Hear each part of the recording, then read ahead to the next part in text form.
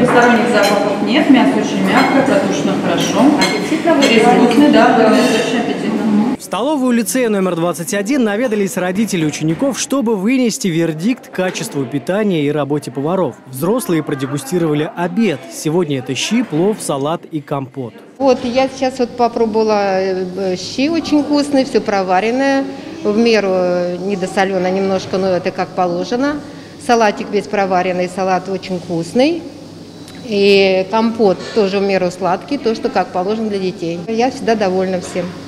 И внучка тоже делится э, всегда впечатлениями, очень довольна. Также родители отметили, что еда в школе в меру горячая, вкусная выпечка, а в помещении чисто. Мероприятие ежедневное. На него мы приглашаем родителей. Помогают нам в этом классные руководители. А, Для то- то- того, чтобы родители могли попробовать, а, посмотреть, где питаются э, их детки, чем они питаются, ознакомиться с меню ежедневным.